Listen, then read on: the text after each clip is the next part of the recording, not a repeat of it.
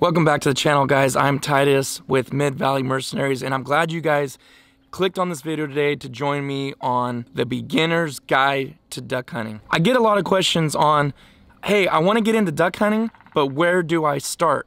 That's what this video is gonna be about. Now, the fact is the majority of us, probably most of us in the United States of America, we don't have to hunt to live and survive to feed our families and ourselves. So it's not always a widely skill that's possessed by all of us. Yet still, there's something about it that brings us back to our roots, just feels right when we're out there in nature, enjoying God's creation and doing the thing that it was ordained for us to do. This video today is to familiarize you with the basics on how to start duck hunting. If at the end of this video you get something out of this and it helps you out, do us a favor, click the thumbs up button and subscribe to the channel let's get started. Step number one, taking the life of a living creature. I know we think this is a given a lot of times, but the real answer is, can you handle taking the life of a living creature? Obviously you got into this knowing it's called duck hunting, so you know that taking something's life is gonna be part of it, but do we really put ourselves in those shoes that once we do it, how precious the life of this thing is?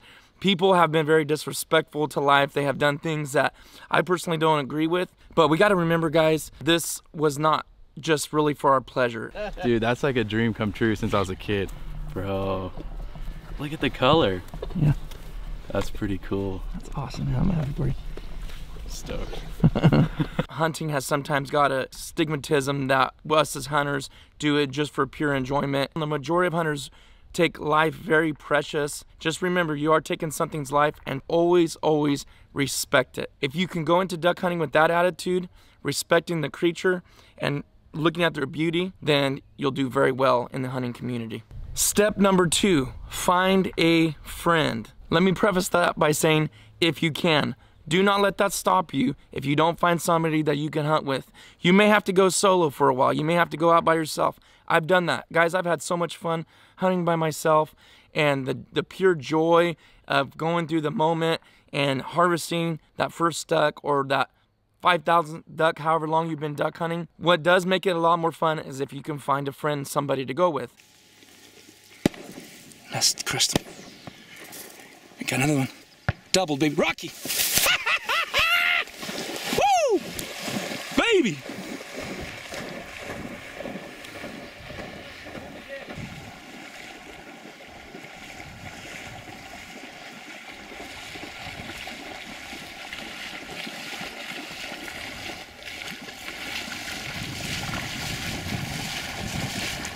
Nice double, baby.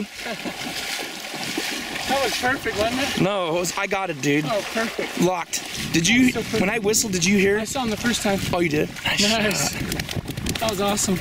But don't let that stop you. Don't be the person, nobody will go with me, I can't get anybody to go, nobody will take me under their wing. Trust me, if you start the tradition, you may be starting it by yourself, but I promise you, you will build a group around you when people start to see how fun it is Invite somebody else that hasn't went duck hunting. I'll tell you this, I've hunted a lot of game. I've hunted elk, I've hunted deer, I've hunted pigs, I've hunted coyotes, I've done all these things, but duck hunting truly is one of the most social styles of hunting. When you do finally harvest that animal, you'll be at the point to where you can high five and you can celebrate together and you can lock in those amazing memories of that bird cupped up or that moment when you fell over in the mud. Honestly, the tough times. Tough times brings more memories than really success a lot of times. The toughness, the ice, the cold, the wind, the unsuccessful hunts. Those are what bring the success to a point where it's overwhelming and so exciting that you can't even put it into words. And sharing that with somebody else is incredible. I've heard this a thousand times. I've got this in my messages on Instagram and Facebook. I know duck hunters, but they're so tight clique they won't let me hunt with them.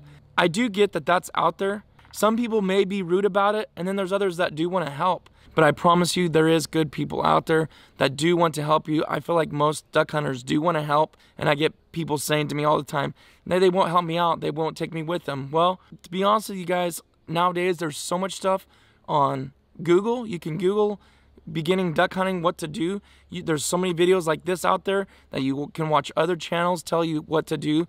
There's a lot of information. 20 years ago, that stuff wasn't there because there was none of the stuff that we have nowadays. There was no YouTube, there was no Instagram. Before, you were straight up blind. And videos like this and people like this nowadays, they do want to help. Maybe we can't just individually help every single person, but I want to tell you don't let something like this, like duck hunting, go out of your mind because someone won't take you under their wing. If you do have a mentor, yes, the process will be a lot easier, but I want to encourage you, it is far from impossible.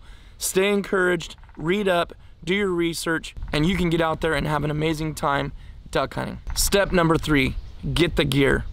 Before you can even head out, you need to do your research. You need to see what the cost is. Part of this involves you educating yourself about duck hunting like you're doing right now. And the other part of it will involve you learning what you need to hunt. And I'm talking about appropriate clothing, gear, and guns. We have lots of videos on our channel and I'll start linking them throughout the video up in the top in the cards over here. But I wanna let you know that we have the stuff out there to help you get started, whether it's guns. We also have a podcast that we talk about picking the right gun for duck hunting.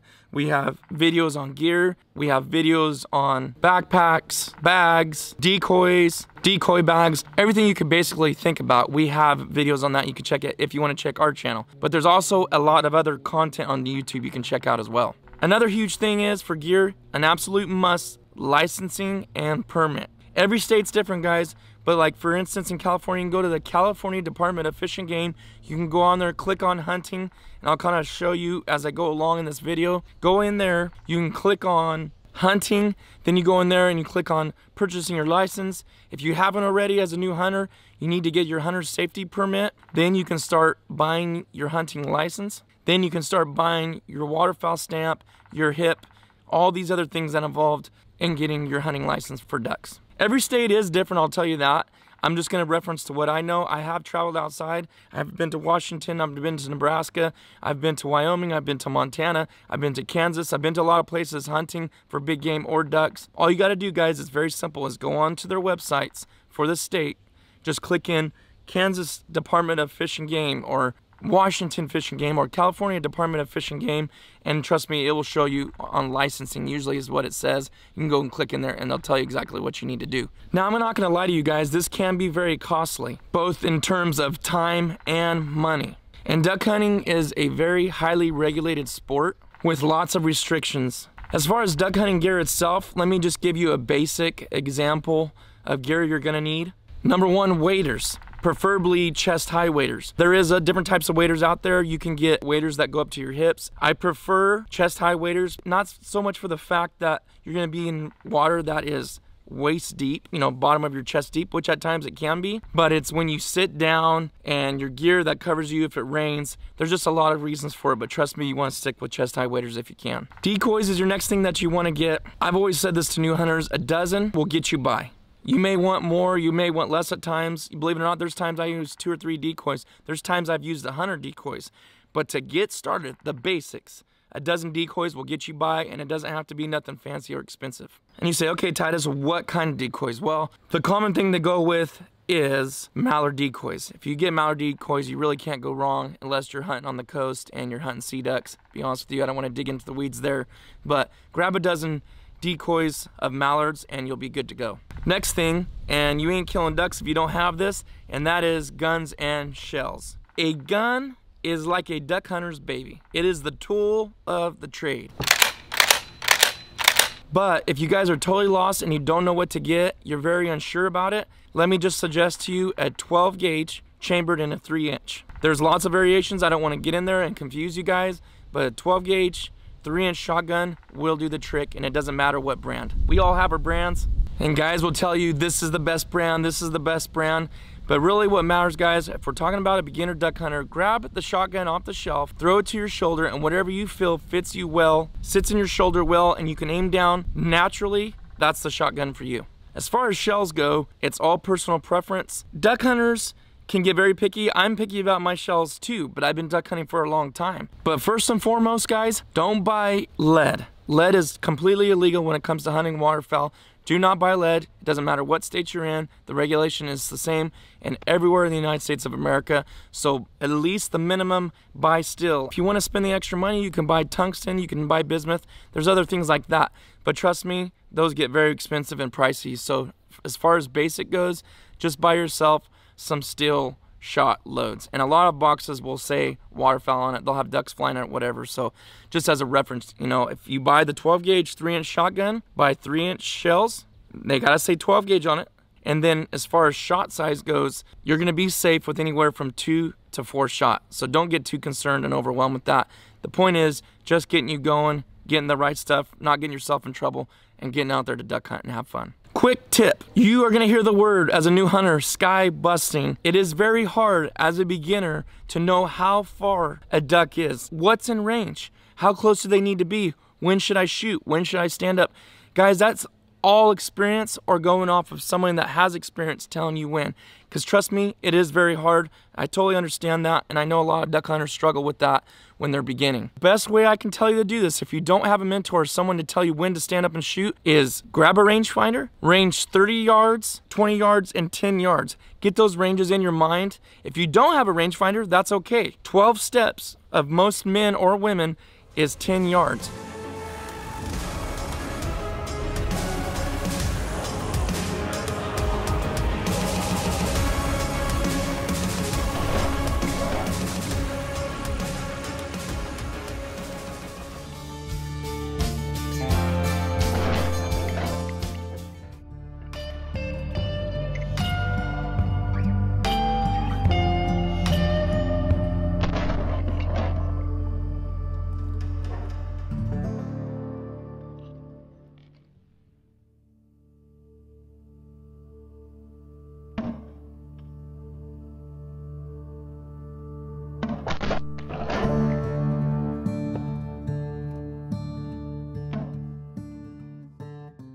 So step off 36 steps is 30 yards and go to a tree or go to somewhere and look at that. And if you have your decoys at that point, put them on the ground and you can see how close that is. It's pretty close.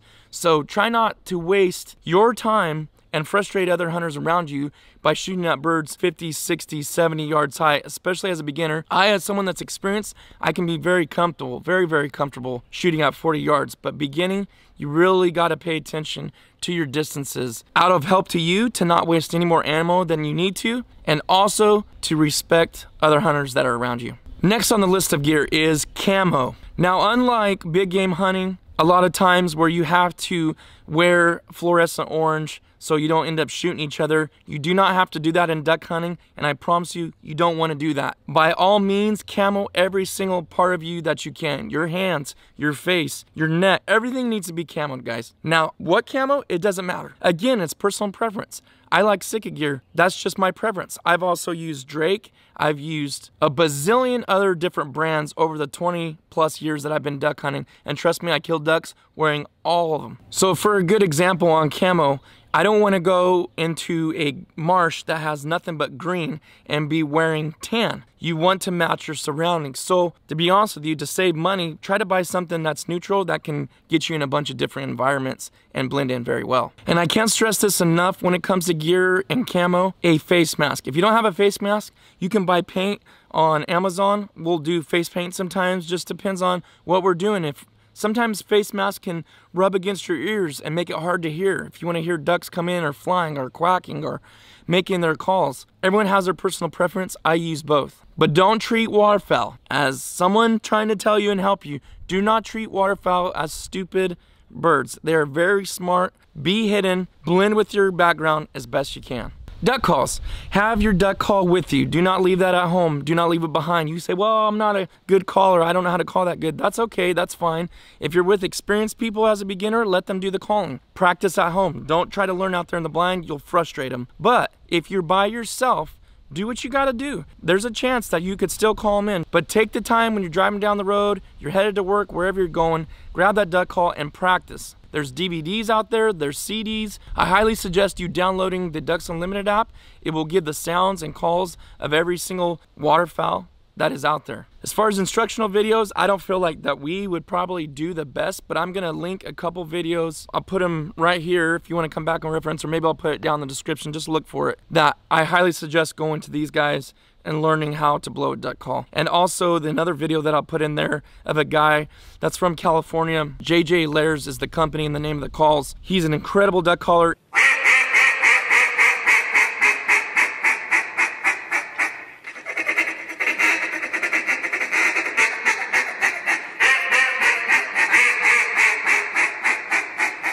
because there's a couple competitions. There's live duck calling.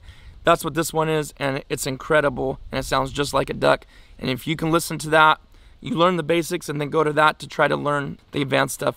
You're gonna be a very good caller. Now, I know I didn't cover all the gear, but there's a lot of different things that you could do. There's optional gear. There's a dog. That's something you will look to down the road. I don't suggest doing that as you're a new duck hunter if you're hunting by yourself, because you need to take that time to learn how to duck hunt, let alone trying to train a dog. A boat a kayak. You could go down the river. Those are different tools that you can use.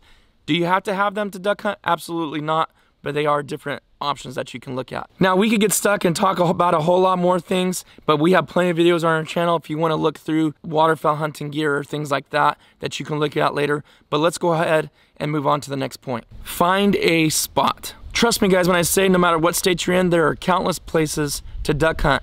You just gotta find them. A quick, easy, internet search will show you guys a plethora of places to go. And again, it doesn't matter what state you're in. People all the time, what refuge to go to. What guys, you can go on your state's fishing game and it will list out every single place that you can duck hunt.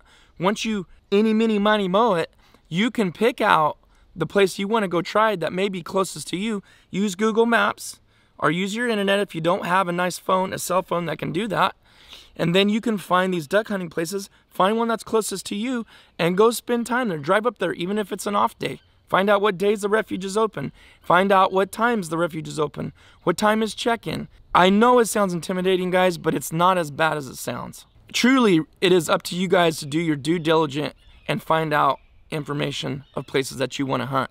Just bear in mind that if you don't do well at a place, that you don't have to stay there. You can always venture out and try different places. Guys will help you more than you think, especially at check stations, if there is check stations. Now, some states don't have that, but there's so much, I'm, I'm telling you guys, you can Google it. I do it all the time. Still this day, as long as I've been duck hunting, if I'm going to a new place, I will Google hunting at so-and-so, whether it's in Washington or Kansas or wherever it's at, and there'll be people on there, there'll be threads on there, duck hunting chats that will tell you all kinds of information. It may not give exact spots, but no duck hunter is going to do that. And you wouldn't do it either. Nobody gives away their deer hunting spots. Nobody gives away their turkey hunting spots. Nobody gives away where they're catching 10 pound bass. And guys, we can't expect people to tell us exactly where to go when it comes to duck hunting, but there's plenty of information out there to tell you what refuges or what land to go duck hunting at. I promise you. Now, if you found a spot that has ducks and you've killed several ducks up, congratulations to you on harvesting your first ducks and figuring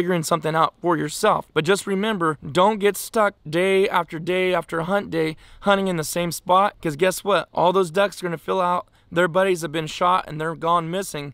They're not going to keep coming back to that spot over and over again. Step number five, duck identification. Guys, you must absolutely, absolutely know your duck ID. Nothing can get us into more trouble than shooting something that we're not sure of. If you don't know what it is, don't shoot it. Do yourself a favor and pass the bird up. There has been so many times I've seen guys come out of the refuge stoked that they had an eight bird limit when the bird limit is seven birds or guys come out thinking they did something good, they shot this rare duck, and the season wasn't open for that duck till later. Again, all that stuff is in the state's fish and game department. You can go find the rules and regs book. You can see how many you can shoot of canvasbacks, how many you can shoot of mallards, how many hens, how many drakes. Ducks Unlimited app can show you what these birds look like in flight, standing. It's very hard at first sight, ID ducks in flight, but the more you do it, the better you'll be at it. And one little side tip I could give you guys is go to a game reserve and just take some binoculars out there and look at birds and identify them. If you don't know what it is, Google it. North American waterfowl and pick the one that looks like the duck you're looking at and then boom, you know like, oh, okay, that's what that is. Every year as duck hunters, we should be refreshing ourselves on the rules and regs because every year they change. Not all of them, but there is things that change. We've got to know what they say. So read through that book. It's interesting to read anyways. Last but not least, step number six. Once you've harvested your ducks, you went on your first duck hunt, you walked away successful, you came out, checked your birds out, whether it was online, whether it was a card, or whether it was to one of the workers at the check station. You go home with it. Now, what do you do? You have these ducks. The most common method, guys, for preparation is to breast the duck out. So on teal, blue wings, greens, just kind of start putting your thumb together like that. So you do this, and you push down and pull apart. And it literally opens. Can you get that? And then you pull down like that. Look at that. Boom. It's that quick. So anyways, just a little tip for you guys if you guys were in, and then you go down the breastbone. Don't want to go too deep. Pull that one piece of meat, slice down. There's one. This is if you're just breasting it. Obviously, you're gonna do it whole. It's a lot different. It takes a lot more time. Also, you can do them whole, but do not be the person or the hunter that because you don't know what you're doing with it to just throw it in the garbage. We eat what we kill. Again, we have a podcast that we have a chef on that's very well known, a book called Duck Duck Goose. It will tell you how to cook those and harvest those. If you don't want to buy the book on Amazon, you can also go on to his website, Hunter Gather Cook, and he'll tell you how to cook duck. And I promise you, most of us cook it wrong. Just remember this one tip that I'll give you, and we'll end here cook it like it's steak. Do not cook duck like it's chicken. You cannot go wrong with a medium cooked duck. It's gonna be tasty. The choices to me are pintail and mallard and green wing teal are some of the best eaten out there. If you shoot those and you can look those up, trust me, you won't be dissatisfied. Well, that will wrap this video up. I hope this video helped you guys. If you have any questions or comments, put them down below in the comments section. Check out the links I was telling you about. I hope this helped you guys out. If there's anything I forgot, just ask me down below and we'll do our best to help you. We'll see you out there, guys. Good luck in the field.